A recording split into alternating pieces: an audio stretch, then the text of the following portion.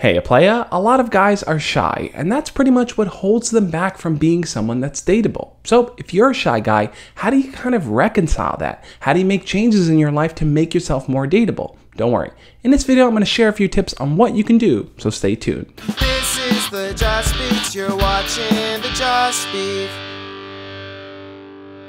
For those of you that are new here, my name is Josh, and every single Monday through Friday, I make videos sharing tips, ideas, and stories teaching you how to be your best self. Now, if you're a shy guy, you already know that your shyness is holding you back, but you might be confused as to where you should begin working on it. Well, I would say the first thing you should probably do is to toss aside your false perceptions. This idea that you are completely 100% undateable, this idea that girls only like bad boys and they're never gonna like a guy like you, and this idea that you don't have have what it takes. You're incapable of learning how to change. When people generally ask, what type of girls do guys want to be with, we tend to look at bad boys or chads or these kind of jocks or cool guys that just totally are outside of the realm of who we are. But what we fail to really understand is what lies underneath all of those things. What do all those type of guys have in common that is attractive to girls? Some might give simplistic answers like your height or your jaw shape and things like that, but I would go even deeper and I would say it's actually the fact that these guys stand up and share what they think and what they want. Let's take bad boys for example. What are some of the characteristics of a bad boy that you think would be attractive to a girl?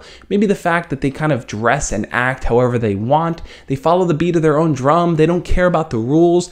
These are different things that showcase that that person really kind of follows their own way in life. They're not conforming just for the sake of being accepted, they're kind of doing their own thing. Now, what makes them a bad boy is that sometimes they're completely unwilling to cooperate with others. They may not open up about their feelings or share their thoughts. Sometimes they could be a closed book. And I think for girls, what makes that attractive is that they want to help those bad boys open up. Let's flip it now and look at the characteristics of a shy guy. Shy guys may not want to rock the boat, so sometimes they'll just go along with things so they can kind of slowly drift in the background. Maybe they won't be as outspoken or share their opinions on things because they're afraid of some kind of backlash. And I think to girls who witness that, they see that as a guy that's just unwilling to kind of open up. Wait a minute, both bad boys and shy guys have trouble showcasing their feelings and opening up. So why are girls more attracted to bad boys rather than shy guys? It's pretty interesting if you really think about it. With bad boys, they'll 100% assert themselves for things that they truly care about. Yes, they struggle with sharing their feelings and their thoughts, but when it's something that's important to them, they are very, very vocal about it. So if a guy is willing to assert himself and to share his opinion on things that truly matter to him,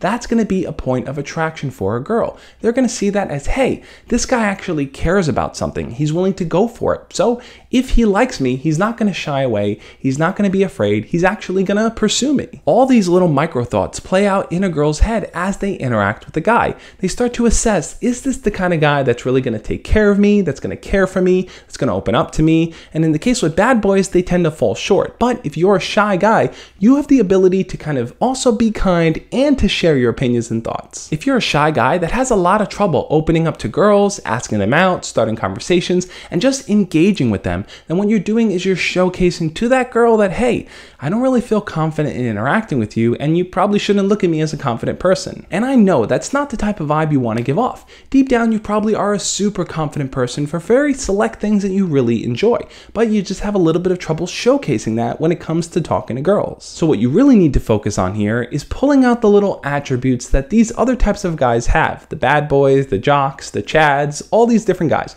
Pull out the things that make them successful and toss aside all the other crap that they have and really focus on honing in those skills. In your day to day life, for example, try to assert your opinion more. Try to spend less time in your head thinking things through and ask more questions. Sometimes, instead of trying to figure out all the answers inside your own mind, just simply say what you're feeling, say what you're thinking, and ask what the other person is thinking too. And what tends to happen is that confidence works like a snowball. Once you start doing it to a few people throughout the day, as you move forward, it becomes easier and easier to talk to people, to engage with them, to ask them questions. If you're just jumping cold into every situation, yeah, it's going to be hard. But if you warm yourself up a little bit by talking to regular people that you're not so intimidated by, it becomes way easier. You have to also remember that most people confuse nice guys with soft guys. Generally, when a guy is unwilling to kind of showcase what he feels, how he thinks about something, and assert himself, he becomes a soft guy.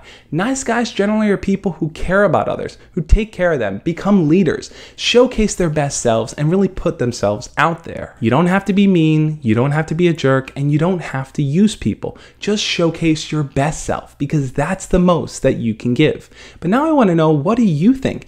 Do you feel like you're a bit of a shy guy and that makes you undateable? Leave your comments down below and we'll talk about it. Otherwise, thank you so much for watching. If you enjoyed this video, hit the thumbs up button and remember to check out the playlist I've put together over there on the side. I've pulled in a bunch of videos from this week and other videos that I think are related to taking care of yourself, to helping you kind of develop your sense of character, your sense of being, and being proud of who you are.